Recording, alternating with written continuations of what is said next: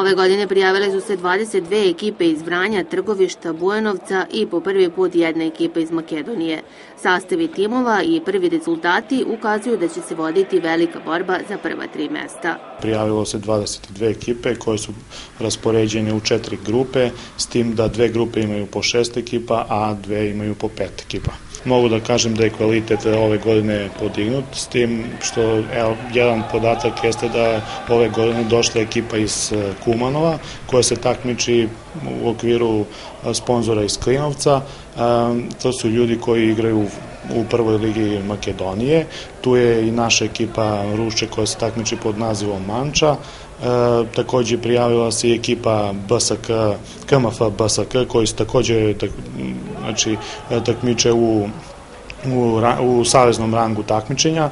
E, takođe tu ima dosta vranjskih ekipa koje, u kojima igraju bivši futbaleri, futbaleri, da napomenem da je Dinamo ove godine prijavio i kadete i omladince. Kadeti su, evo mogu da kažem, juče načinili pravo iznenađenje, pobedili su ekipu koja je sastavljena od bivših futbalera Dinama, sa 4-2, tako da je bilo dosta zanimljivo, pa pozivam sve ljude da dođu u sportsku halu i prate turnir. Uspeh prošlogodišnjeg turnira koji je organizovan posle duže pauze inspirisao je organizatore, Sportski savez i Sportsku halu da povećaju fond nagrada, u čemu su dobili podršku grada. Nadaju se da će odziv publike biti veliki. Nagradni fond jeste bogat, prva nagrada 150.000, druga 60 i treća 30.000 dinara.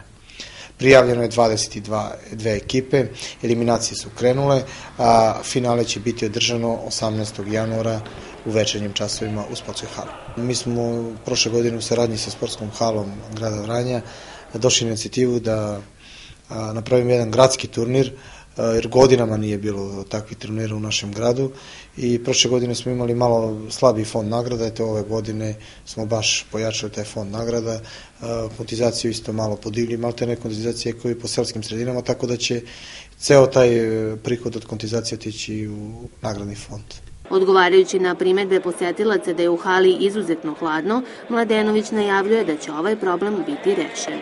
Trenutno je zbog ove niske temperature malo hladno u sportskoj hale, ali nadamo se da će od ovog vikenda krenuti sa grejanjem hale, tako da će biti toplo, za finale će biti puno sigurno. Očekujemo oba dve trebine kao i prošle godine.